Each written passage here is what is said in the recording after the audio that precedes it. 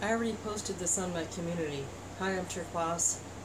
I already posted this. Um, I love the music that Nikita Boukreev plays on his channel. And um, he plays covers. Uh, bands such as Death in June and um, he's I think he's Russian I'm not sure if he still lives in if he lives in Russia or Japan now but I've been commenting on his videos in Russian sometimes in English.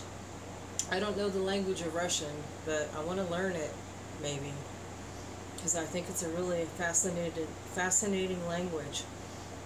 I'm not getting into the politics of either country, ours or Russia, but um, I know two Boukreevs now, um, or I know of two Boukreevs now. Anatoly Boukreev, um, who lived who uh, lived in Kazakhstan, was raised in Russia, and climbed Mount Everest and climbed other mountain peaks amazing mountain climber and I'm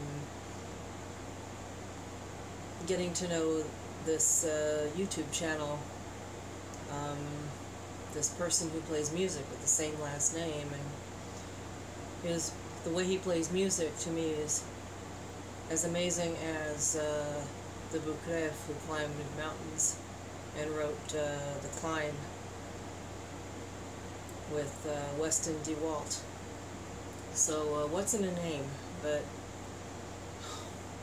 and I love it even more when uh, the musician replies to my comments and likes my comments and gives me hearts. I think that's great. Thank you. Thank you for your music.